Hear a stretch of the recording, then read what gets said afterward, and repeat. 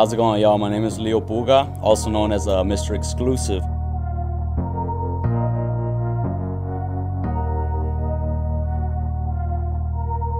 All my life, been grinding all my life. Sacrifice, hustle paid the price. Want a slice, got to roll the dice, that's why. All my life, I've been grinding all my life. Look, all my life, been grinding all my life. Sacrifice, hustle paid the price. Want a slice, got to roll the dice, that's why. Grinding all my life. Look, I'm married to this gang. that's who I made my wife. Said I die alone, I told that she probably right. One thing that's for sure, not a stranger to this life. Got a safe that's full of Franklins and a shoulder full of stripes. I don't know a like myself. I say self-made, meaning I design myself. County jail fade, you can pull my file yourself. Spot raid, swallow rocks, I'm getting myself. Nah, damn right, I like the life I built. I'm from West Side 60, might got killed. Standing so tall, they think I might got stills. Legendary baller like Mike, like Wilt. 96 Impala, thug life on wheels.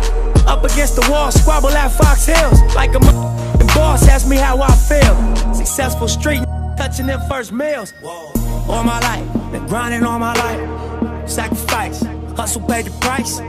Want a slice, got to roll the dice, that's why. All my life, I've been grinding all my life. Look, all my life, been grinding all my uh, life. Spent a, a good majority of my life in prison as well. I did six years in the in the system, and that's where I came across um, cutting hair. That's where I learned how to cut hair. Um, I came across this, this man with a life sentence. Uh, he was actually a former Blood gang member from Atlanta, Georgia, and um, he saw my drive. He saw how hungry I was, and you know, so he taught me pretty much everything he knew because he knew that his second chance at life was pretty much blown. Like, it, it was kind of hard for me to just kind of allow this guy to teach me what he knew. So I kind of grew out of that. I grew out of that, man, and I and I, I let him teach me everything he knew, and I fell in love with it.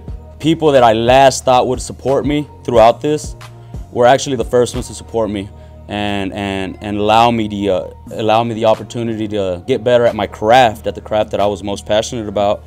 So when I was in prison, uh, and I was cutting hair, I was charging three soups, three ramen noodle soups a haircut. And so I was cutting anywhere from like 25 to 30 heads a day, you know, on a 5,500 man unit. And so the vision that I had was that I could go out to the world and charge $20 for a haircut and, you know, cut 20 heads a day. I mean, that's pretty good, you know what I mean? It, my vision started from, from inside. So now that I think about it, um, would I take all this back?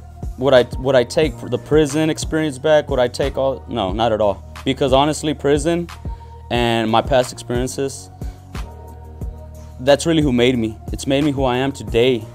You know, uh, if it wouldn't have been for that, I would have probably been six feet underground. I would have probably been, uh, you know, incarcerated with a life sentence. You know, I mean, really, I got a second chance. And this is something I can't take back. I mean, this is something, this is a part of me. You know, um, just like uh, uh, something that I live by is that let your past be your lesson, let your present, your present be your uh, gift, and let your future be your motivation.